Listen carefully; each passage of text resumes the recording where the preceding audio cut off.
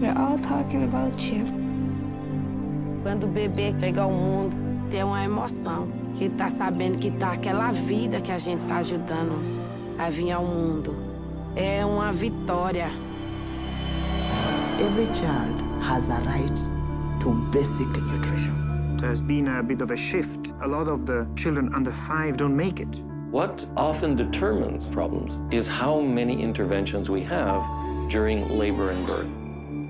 Pressão tá boa, batimento, tá tudo ótimo. Só tá esperando a natureza agir.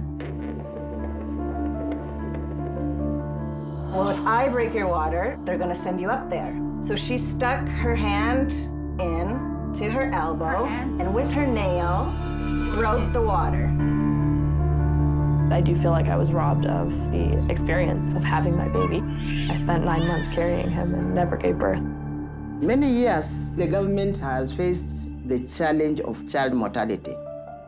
And to end up with a dead baby and have to carry their dead baby home in a cloth, it just broke my heart.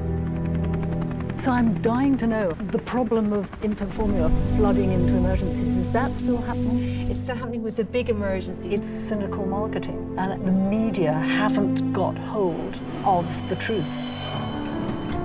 These are gifts that I received in the mail from the formula companies. It's a huge industry. They are lobbying for hospitals to give out their gift packages and information and to doctors to recommend their products. When you pull out a bottle in a circle full of moms, everybody looks. There are some people who are so, so, wow, judgmental. judgmental. And embarrassed in case a small flash of flesh might offend. In a country of low-cut tops, cleavage and skin, female breasts banned.